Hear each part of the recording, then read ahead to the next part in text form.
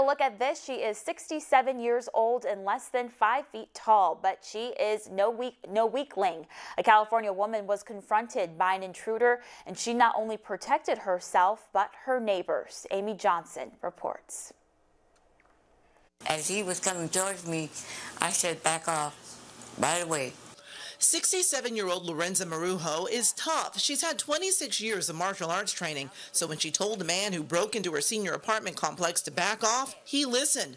But unfortunately, he made his way to her friend and neighbor's apartment, 81 year old Elizabeth McCrae. And he grabbed me and he shook me and I went down on the floor. Marujo heard the screams and went to help. And I squeezed myself between her and him.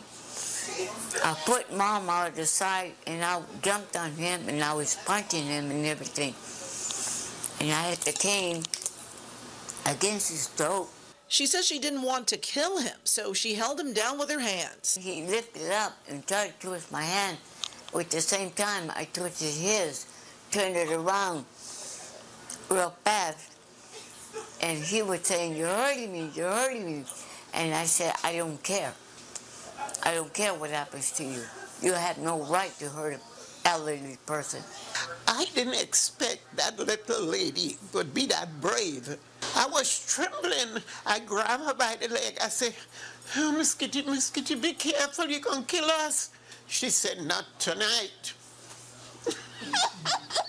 we do not recommend you just jumping in. We recommend that you dial 911 for emergency assistance, which in this case, uh, she did that and she also jumped in. What she told me is her training kicked in and it was like a muscle memory. She knew she had to, you know, help her friend out.